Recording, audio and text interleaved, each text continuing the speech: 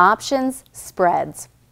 Option spreads are a common strategy and involve buying and selling options of the same or different types, expirations, and strikes.